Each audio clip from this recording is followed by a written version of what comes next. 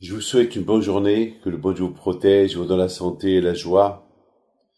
Voilà, nous sommes en pleine préparation spirituelle pour la grande fête de Rosh Hashanah. Alors écoutez bien, c'est bizarre.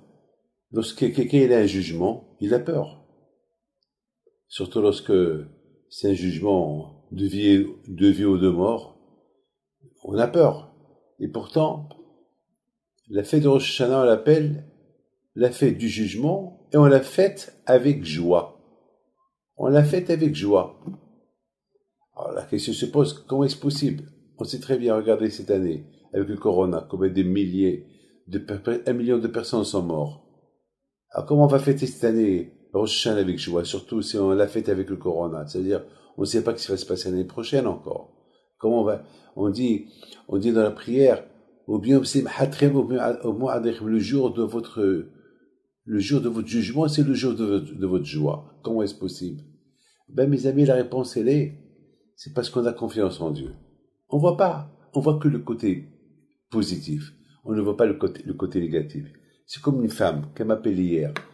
Et cette femme, les médecins lui ont fait peur. Ils lui ont dit, c'est, elle va avoir euh, un Leicester, un bébé mongol ils ont fait peur, vraiment, ils l'ont tué, ils, ont, ils ont cassé. Et en plus, ils ont dit ça, la pauvre, après plusieurs années qu'elle n'a pas eu d'enfant, et à peine maintenant, elle est dans quelques jours, elle va, le elle va, elle va, elle va accoucher. Mais, mais ils sont fous. Ils ne l'ont pas dit pendant neuf mois de grossesse, et maintenant ils vont lui dire. Maintenant, euh, comme ça, il, le, le, le, le fou là du docteur, il a eu la folie. Et comme ça, il lui dit, il lui dit, ah, vous savez, vous savez, j'ai pas voulu vous dire, hein. Pourquoi tu me dis maintenant? Alors moi, j'ai pris le risque. je lui dis, madame, et elle, était avec son mari. en, plus, cette femme, la pauvre, c'est le premier bébé qu'elle a. C'est le premier. Attends une seconde, la pauvre. Elle a peine 20 ans, a. Tu la tues comme ça. Alors moi, j'ai pris le risque. J'ai dit, Madame, t'as pas peur. Ben, les attachés, tout ira bien. Pourquoi? J'ai la confiance en Dieu, c'est tout.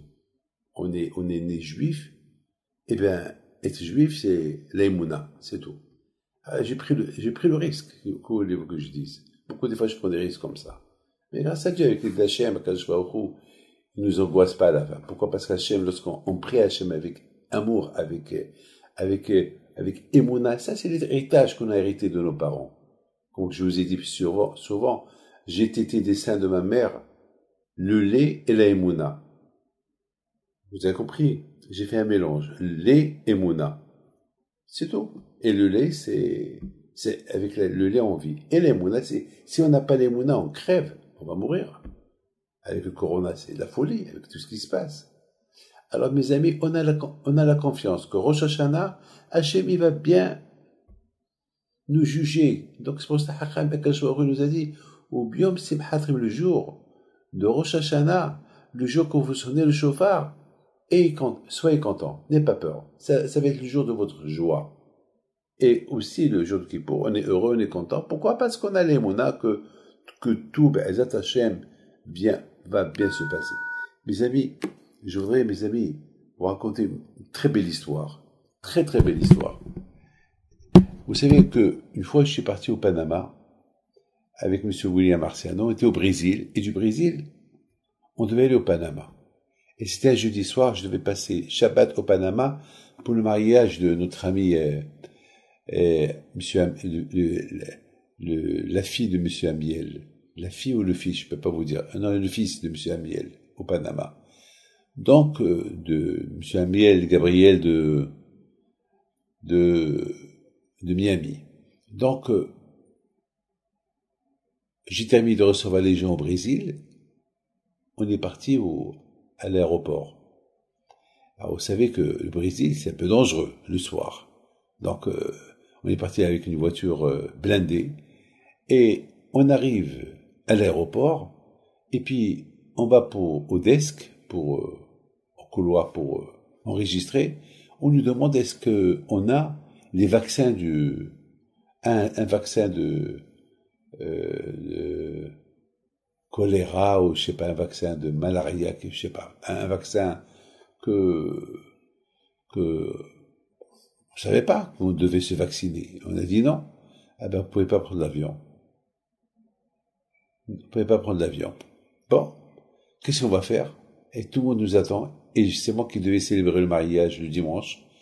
Et je savais pas quoi faire. J'ai, ben, j'étais, alors, et, surtout, on a dit à tout le monde qu'on voyage. Alors, la famille Rahmani, ils étaient contents.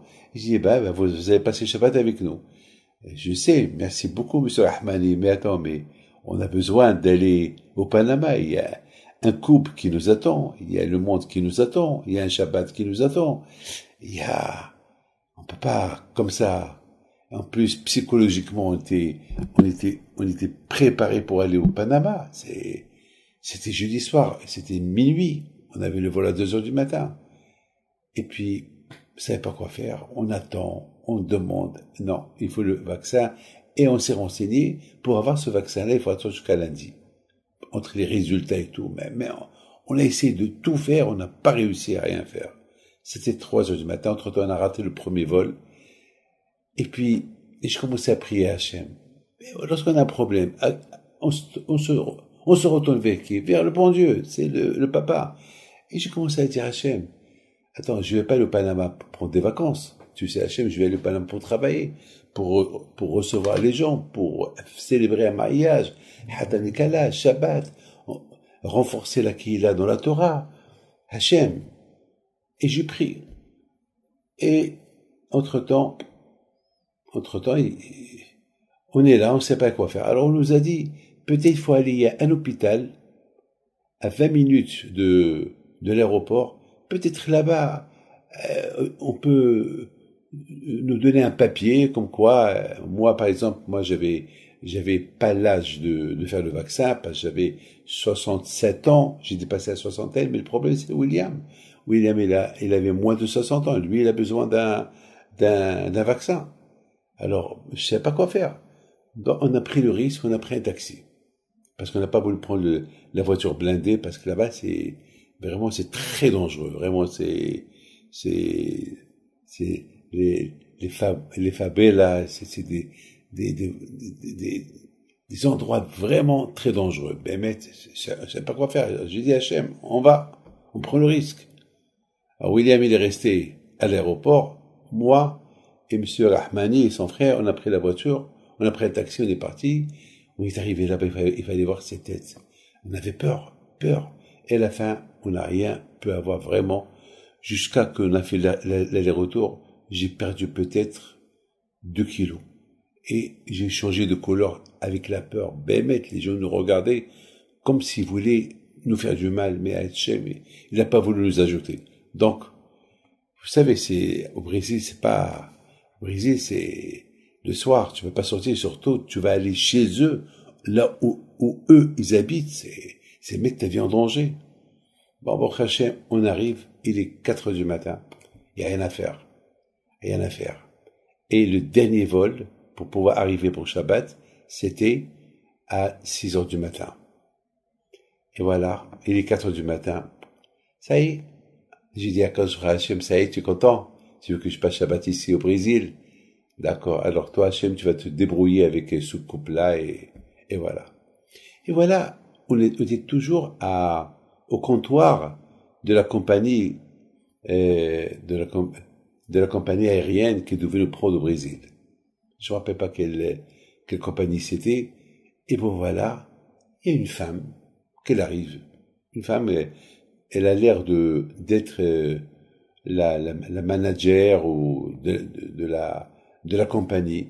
Elle va, elle sourit à tout le monde, tout le monde sourit. Elle nous regarde. Alors, elle demande parce que maintenant, tout le monde maintenant, il est en train de s'enregistrer pour le vol de 6 heures pour le Panama. Elle nous regarde. Alors, euh, elle a commencé à parler au, au, Brésilien avec euh, M. Rahmani qui m'accompagnait.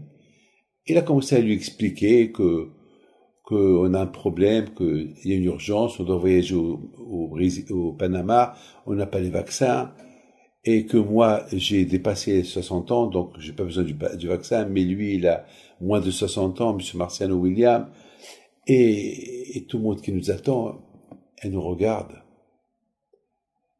Et, lui, il lui dit, vous savez, c'est un, un, grand rabbin, il peut vous faire la bracha. Avant, ah alors qu'il me, qu me fait la bracha? Et il m'appelle, me dit, elle veut une bracha. Une bracha? Bien sûr, j'ai commencé à trembler, j'ai dit, peut-être, ben, Hashem, elle nous trouver une solution. Je lui ai fait une bracha, une belle bracha, et puis,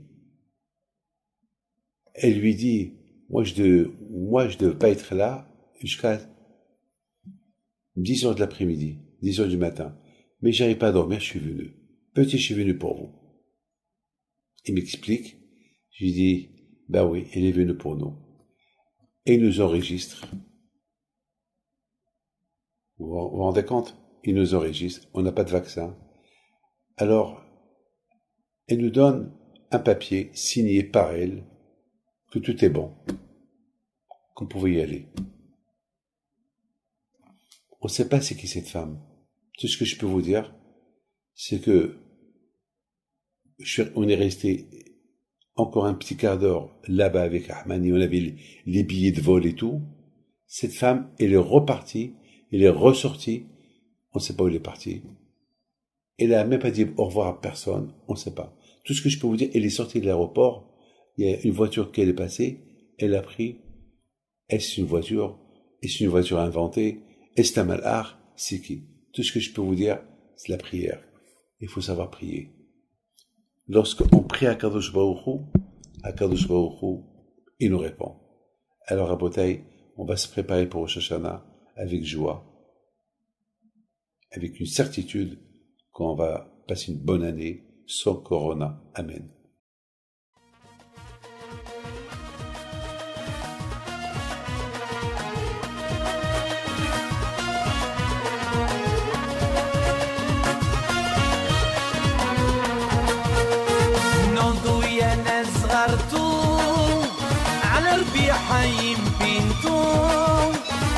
وقف لنا زي خوف